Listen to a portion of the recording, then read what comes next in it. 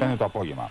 Εν τω μεταξύ, η Πειθαρχική Επιτροπή της Ελληνικής Ποδοσφαιρικής Ομοσπονδίας ζήτησε από τον Μιχάλη Τροχανά εντός 15 ημερών την απολογία του για τη συμπεριφορά του στο πρόσφατο Διοικητικό Συμβούλιο της Ομοσπονδίας όταν συζητήθηκε η ημερομηνία διεξαγωγής του τελικού κυπέλου Ελλάδος ανάμεσα στην ΑΕΚ και τον Απόλωνα.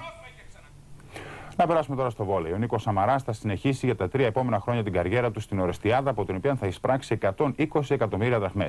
Χθες, ως γνωστόν, ο Παναθηναϊκός κατέκτησε το 12ο πρωτάθλημα στην ιστορία του. Και ο πρόεδρος του, Παύλος Γιανακόπουλος, υποσχέθηκε και την κατάκτηση του Ευρωπαϊκού Πρωταθλήματος.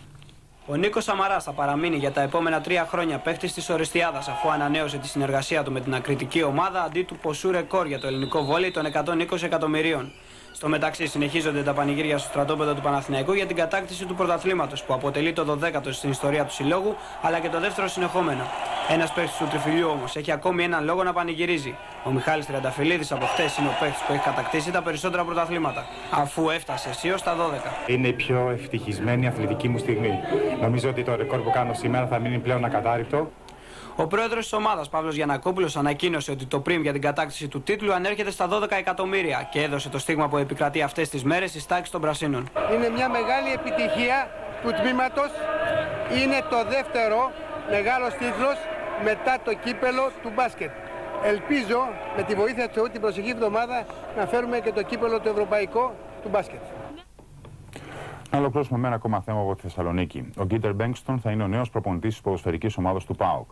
Ο Σουηδός προπονητής που παλαιότερα εργάστηκε και στον Παναθηναϊκό συμφώνησε με τη διοίκηση και σήμερα επισκέφθηκε το γήπεδο της Τούμπας όπου γνωρίστηκε με τους ποδοσφαιριστές του ΠΑΟΚ. Ο Γκίντερ Μπέγκστον είναι και τυπικά από σήμερα ο νέος προπονητής του ΠΑΟΚ. Ο πέμπτος στη σειρά κατά τη φετινή περίοδο μετά τους Χάν, Σαράφη, Κοκότοβιτς και Μπέλη. Ο Σουηδός τεχνικός υπέγραψε το μεσημέρι συμβόλαιο συνεργασίας 1,5 χρόνου και το απόγευμα προπόνησε για πρώτη φορά την ομάδα. Η μηνύα αμοιβή του αγγίζει τα 3,5 εκατομμύρια δραχμές.